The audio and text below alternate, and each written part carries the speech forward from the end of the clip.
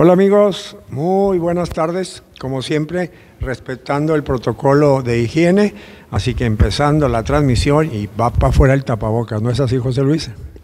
Así es, mi querido y compañero y fino amigo Toño Sarabia, como siempre, es un placer estar a tu lado y conocer, digo conocerte, digo, cada viernes estar aquí platicando, comentando y pues bueno, ya es tradición, ya, ya, lo hicimos tradición, ¿eh? por cierto, aunque a, José Luis no le gusta contar, o más bien a nuestro productor Renato Basadoni, yo sí cuento y hoy es el programa número, se completamos la docena y no crea que esta silla vacía entre José Luis y yo, eh, así se va a quedar. Tenemos un par de invitados que están a punto de llegar aquí a las instalaciones de XFE, Canal 17, así que esperemos tener un, un programa eh, estupendo. ¿Qué, tendremos pronto para anunciar? Yo tengo un par de cosas, tú dime si empiezas tú o qué hacemos. Pues bueno, este, eh, ya eh, para el día de mañana, este, precisamente las personas que van a venir, este, se van a disputar un campeonato a nivel estado. En el ¿Y va a ser mañana? Sí, mañana en Papamilo. Este, eh, me parece que es el señor Nelson Cuevas un gran boxeador y pues ahorita no recuerdo el nombre de la otra persona, pero ellos se van a disputar y obviamente el que quede ya campeón, campeón mañana, pues ya es el que va a representar a, Tamaulipas. A Tamaulipas. o sea que el campeonato es estatal. Sí, es estatal. Ah, mire, pues va, a estar interesante la charla, espero que no, no se tarde. Papamilo, bueno, ya, ya nos Es un gimnasio, ¿no, Papamilo? Sí, sí, es un gimnasio muy bonito. ¿Por dónde queda? Queda rumbo allá, creo la calle Venezuela, ¿no? Así. ¿Ah, he estado. Sé que he pasado por ahí, pero no, yo nunca he entrado. Sí, está muy bonito. Ah, mira qué bien. yo, yo por lo pronto, si me lo permites, eh, los invito mañana a Estación Palabra en punto de las 5 eh, de la tarde. El Cineclub Ricardo Montalbán les ofrece eh, una, una película muy interesante, muy bien hecha. Mira, curiosamente, eh, estamos hablando de box y vamos a hablar de box, pero esta película es, de lucha libre, se llama El Luchador, es Mike Rourke, que ganó eh, el premio de mejor actor en el Festival de, Cannes. Es una película muy dura, recomendada para adolescentes y adultos, pero mire, amigo y amiga radio, es televidente, nos va a llevar de la mano al mundo detrás del cuadrilátero en la lucha libre y hay cosas muy fuertes, hasta crueles, eh, pero bueno, el mundo de los catorrazos en una forma o en otra, así es, pero como dijo alguien, Luis Espota, más coronadas del hambre o más golpes a la vida. Así que mañana entrada libre, estación Palabra, ya llegaron nuestros invitados, ahorita se dejan venir para acá. Y, bueno, ¿y qué edades tienen aquí, por ejemplo?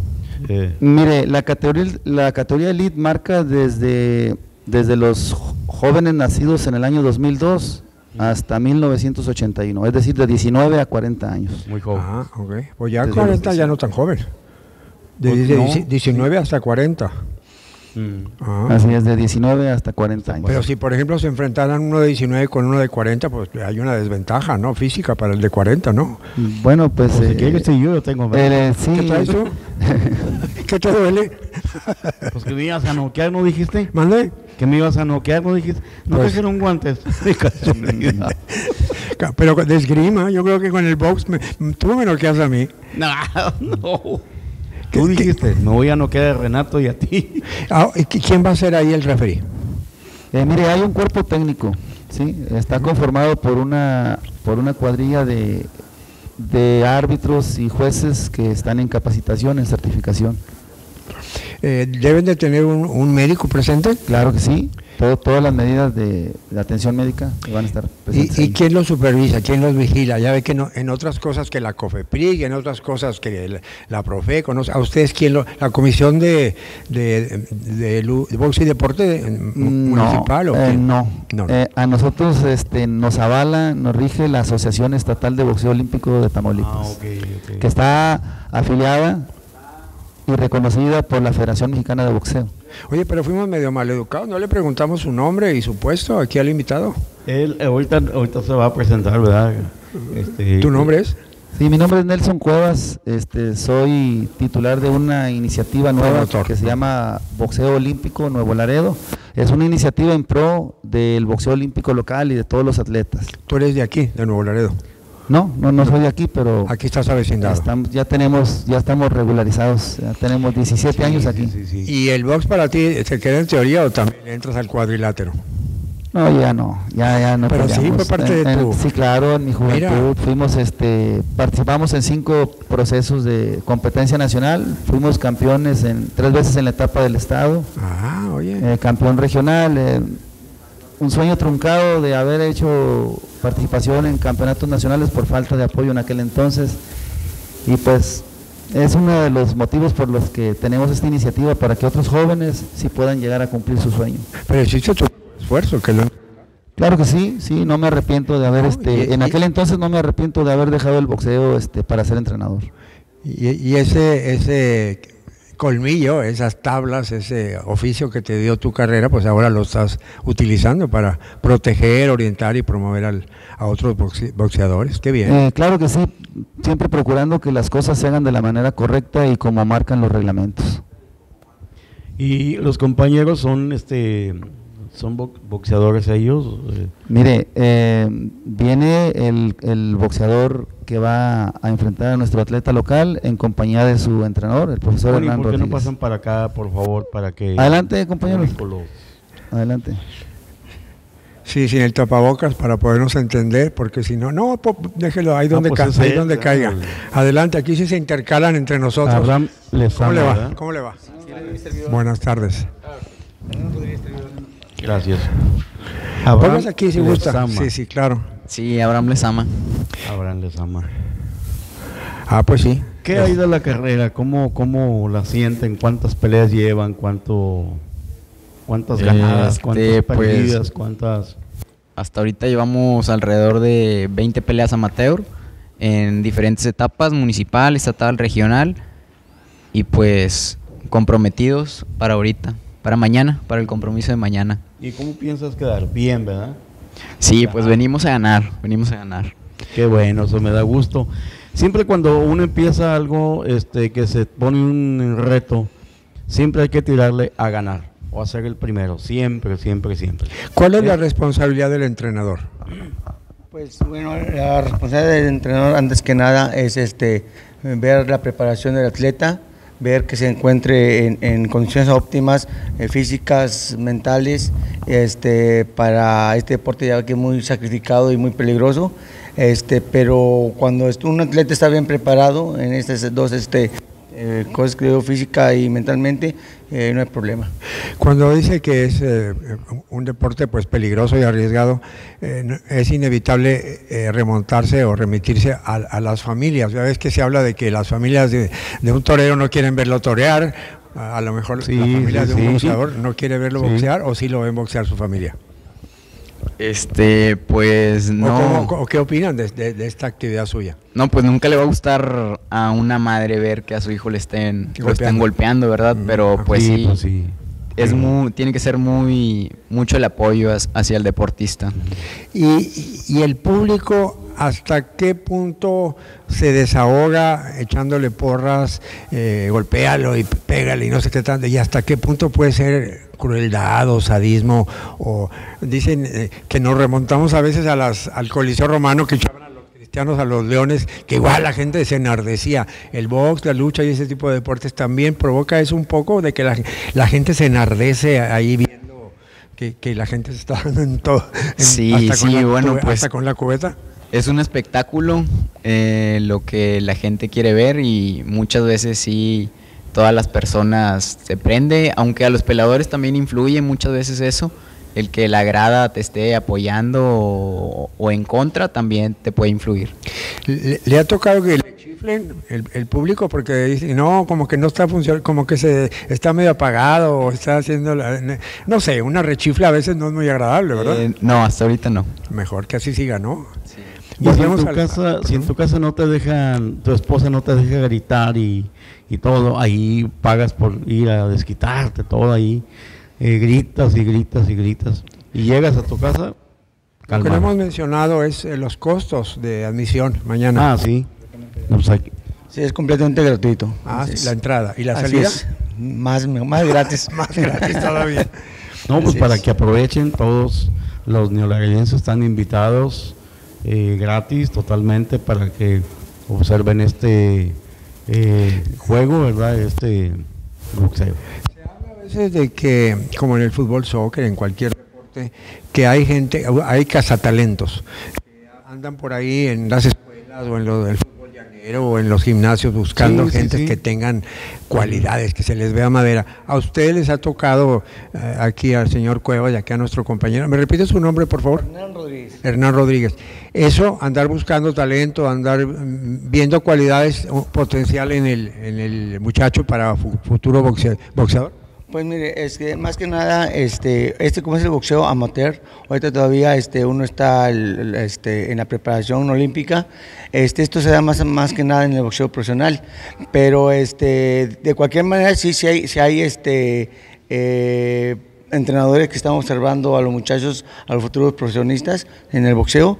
Y este y por supuesto que nosotros como entrenadores que en un futuro queremos este, que, cuando el muchacho ya brinca de tapita del amateur a profesional se este, puede estar preparándolo. Pero pero más que nada ahorita es este con miras a, los Juegos Olímpicos a los este a este a esta etapa.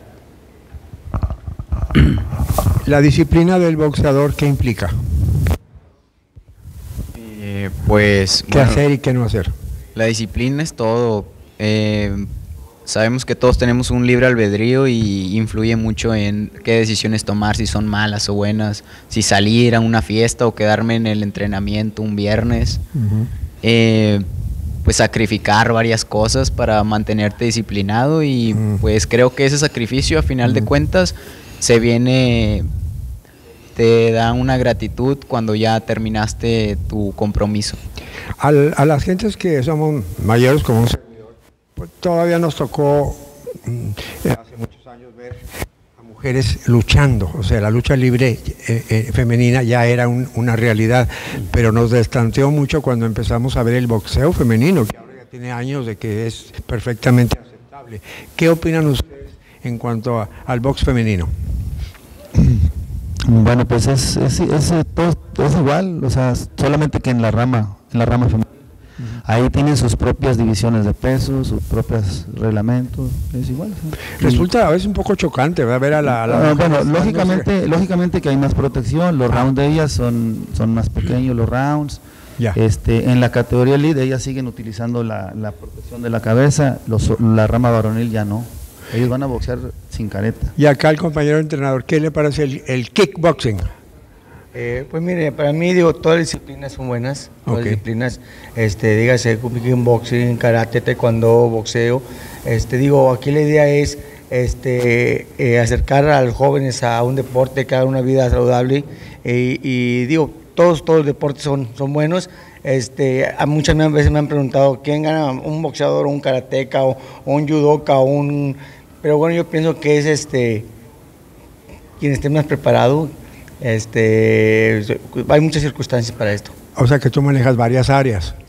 No nomás estás eh, no, no, yo estoy en puro boxeo, pero pues se me han acercado gente claro. a, preguntarme y, tengo muchachos que eh, también han sido karatecas y se regresan a box o son judocas y se van a boxeo. En, en, esa última olimpiada no nos fue nada bien, ¿verdad? En box. No, estuvimos un poco... Bueno, no nos fue bien en nada, yo creo. Así Sacamos tres medallas de bronce, pues como que no nos... Bueno, pues yo creo que nos vamos a un corte comercial. Eh, tiras tú, nosotros... Y... Oh, qué la agresión. Pues sí, ¿no? Continuamos, por favor. Sí, ahorita con, con, el, eh, con el tema, un tema muy bonito. Estamos de regreso y aquí nos van a explicar los maestros lo que va a pasar el día de mañana, qué es lo que va a acontecer y bueno, Maestro. Así es, bueno, pues como le habíamos comentado, ¿verdad? Es una eliminatoria muy importante, es una eliminatoria estatal. Eh, normalmente estas situaciones no, son muy comunes, eh, se nos brindó ¿verdad? para traer este evento aquí, ya que se, partió el, campeonato estatal. El día de mañana en Ciudad Victoria se va a estar llevando a cabo el resto de los combates. El único combate que está fuera de, de la ciudad es este. Entonces, este, serie, no se ve serie situación así en años anteriores, no se ha hecho, pero se nos dio la oportunidad de trabajar este, esta, esta contienda, este combate, esta eliminatoria. Estamos bien agradecidos con todo de radio, prensa, televisión, redes sociales que nos están apoyando. En especial, pues, nuestro regidor, sí, noveno regidor de la Comisión del Deporte Municipal. Eh, bueno, sesión de la señora la señora Yolanda Hernández. Bueno, pues nuestra de nosotros tres y de los demás, de los demás miembros de esta iniciativa. Este, la señora Sana Cantú, por Jorge Valdés, que nos apoyaron con el hospedaje para que ellos puedan tener hospedaje y su estancia para que descanse del recorrido. Eh, por ahí este, al propietario de México, que por ahí le vamos a, a caer mañana a las carnitas, ¿verdad? están muy buenas. A don Eleazar. A don Eleazar. Un saludo para él, a don Eleazar. Y bueno, pues este, todo el público que apoyen el evento, cuidan porque este, esto no se ve todos los días. Una, una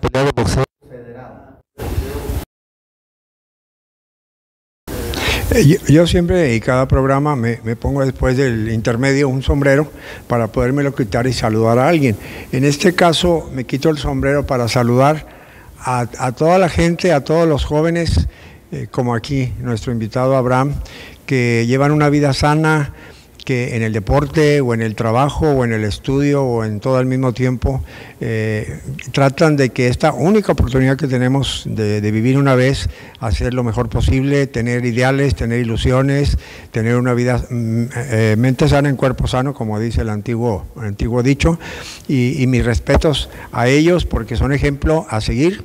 Y aprovecho para enviarle un saludo a la señora Tania, quien está aquí, una grata presencia en el estudio, que es la, la mamá aquí de nuestro invitado, uno de nuestros tres invitados, Abraham para que eh, esté mañana tranquila y, que este, estas satisfacciones de esta carrera no fácil que eh, en la que está incursionando su hijo, pues les deje muchas satisfacciones y muchos recuerdos. Y, aprovecho para hacerle a Abraham una pregunta indiscreta, pero quiero que me la conteste con la verdad. ¿Le va a poner una herradura a uno de los guantes? ¿Eh? No, tiene una. Esa risa es como que dice como que no. ¿Qué se, se, se venda en la mano, verdad? Sí. ¿Para? Eh, pues para que para no tener un impacto en los nudillos. Sí, y antes de ponernos los guantes tenemos que ir a checar una revisión para, para, ver que tengamos bien hecho el, el, vendaje y no meter alguna cosa ahí, yeso o algo que ah, perjudique al rival. Ok, eh, ¿con su entrenador usted practica? O sea, ¿los dos se ponen los guantes? No. No. No, ¿Con quién? ¿Sparring? ¿Cómo le llaman el otro término? sí, tenemos sparrings. Sí. Ahí con los del mismo gimnasio y a veces nos apoyamos entre otros Sí, porque él sería de otro peso, ¿verdad? Como que no, ¿no? ¿Y nunca se te pasa la mano en el entrenamiento con el compañero o el compañero contigo? Eh, no, siempre buscamos un sparring donde los dos nos veamos beneficiados, donde los dos aprendan. Eh, ¿Admiten público para que vean los entrenamientos? ¿Se puede? Eh, sí. tratan de no, sí puede haber. Sí, sí puede haber, sí pueden visitarnos al gimnasio, pero pues no, no es muy normal. no, ¿verdad? No, pues, se, come la botana antes del, del plato fuerte, ¿no? sí. José Luis, pues este, nos espera, bueno, los horarios, el horario mañana, ¿qué horas va, va a comenzar? Claro que a las 5 de la tarde al público en general, entrada completamente gratis y damos inicio con las exhibiciones previas al eh, tenemos ahí alrededor de unas 5 algunos cinco combates de exhibición, una exhibición de manopeo infantil, habrá por ahí una intervención, un, intermedio musical y entonces ya posteriormente el plato fuerte que es eh, la eliminatoria por el campeonato estatal. ¿Y en el intermedio musical quiénes van? Eh, conocido en el medio boxístico como el halcón de la frontera. El ah, ah, sí, mira. Gran amigo. Bueno, estamos hablando de, de, música boxística y por qué no preguntarles de cine boxístico. Mm, una de mis grandes pasiones es el cine, manejo algunas funciones de cine municipales y les pregunto a los tres cuál es su película boxística favorita. ¿Tienes alguna por ahí? Eh, pues creo que la de Creed 1. Es de nueva generación. Ah, sí. Sí, pero tiene que ver con Rocky. ¿Con Rocky? ¿Con la de Sylvester Stallone? Sí, bueno, se basa más en Apolo. Ah, sí, sí, el, el, el, eh, negro, el, contrincante, el afroamericano, ¿verdad? Sí, sí.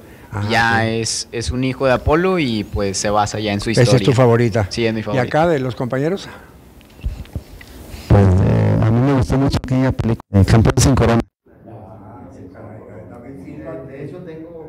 ahí una composición sobre eh, el, el, original que era eh, Rodolfo el Chango Casanova. Chango Casanova, ¿verdad? Que tuvo un, una época de mucho esplendor. Eh, curiosamente se habla en la historia de los boxeadores de nuestro país de boxeadores que aparte fueron muy buenos administradores de sus ingresos y de su carrera, o tuvieron un manager, un representante o una familia que los cuidaba mucho.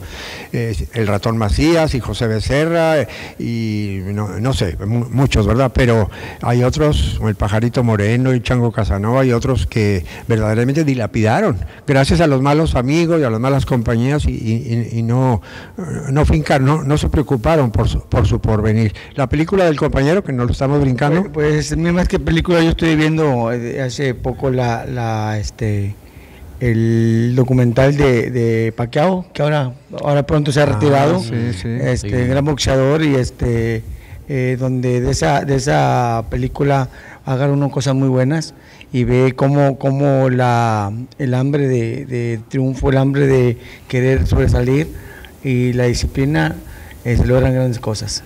Y hay, hay casos, eh, bueno, a mí me gustan mucho también las que, las que han mencionado, y agregaría Rocky, agregaría pues Pepe el Toro, Pedro Infante boxeando con Rubisky, o una que se llamó El Boxeador de Joaquín Cordero, o El Toro Furioso, una película norteamericana de un boxeador Jake LaMotta que la hizo Robert De Niro, estupenda. películas a veces duras, porque el mundo del boxeo profesional no es cualquier cosa, ¿eh? no es cualquier cosa. Pero no, no se da con frecuencia que el padre, como Julio César Chávez, y el hijo sean boxeadores, ¿verdad? ¿O sí? Pues... ¿O no son? Sí son, ¿no? Pues sí. Sí, sí son. ¿O no? Esa risa no sé qué significa. No, no, no, este... Eran boxeadores. Julio César Chávez, el señor, un pero anduvo mal un tiempo, ¿no? Afortunadamente retomó el buen camino. Así en, es. En las entrevistas se ve. Yo pienso que es una, una persona que nos ha enseñado a hacer lo que se debe hacer y a hacer lo que no se debe hacer. Ándale. Sí, yo creo que, ¿Y cómo, a tiempo Una experiencia este, eh, de vida mala y buena y como usted dice, gracias a Dios este como su camino, qué pena que, que, los hijos no a lo mejor no vayan por el mismo lado, pero bueno, este de todo se aprende. Yo le digo a Alesama, yo tengo varios, varios boxeadores que también les ha ido mal. digo, mijo, aquí está lo que debes hacer y lo que no debes hacer Bien hecho. para tu futuro. Abraham, ¿crees que eh, ahora estamos viviendo una época difícil, una época violenta, una época con inseguridad. La gente en general debe aprender más a defenderse, más a boxear, más a luchar, más, eh, no sé, a, que, a que nos podamos enfrentar al, día con día eh, con éxito. a lo mejor, ¿a, qué edad crees tú que un niño, un jovencito empezar a saber cuestiones de, de box o de artes marciales o lo que sea?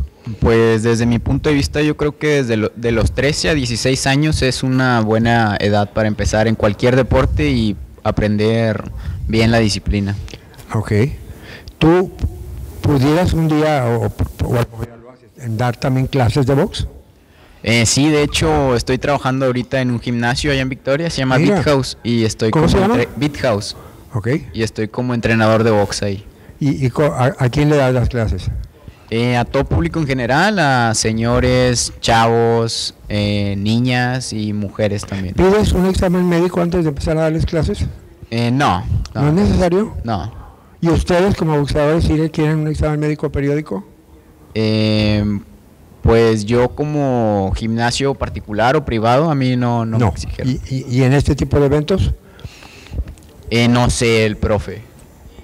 Sí, eh, de hecho, este, bueno, eh, yo en el gimnasio sí les pido a los, a los padres de familia que me den un, este, un estado de salud, de salud de los muchachos, este, y en estos eventos se hace la revisión médica, este, eh, desde una que es una muela picada, no pueden boxear, a veces no les permiten boxear, este, si hay, si hay este eh, la importancia de, checar que el muchacho esté en óptimas condiciones para poder para protegerlo, ¿verdad? claro, para poder subirse José Luis, ah, despedimos el programa y a, nuestros invitados sí, agradecer. Este, eh, muchas gracias por haber estado eh, aquí, ¿verdad? Les agradecemos mucho este, mutuamente.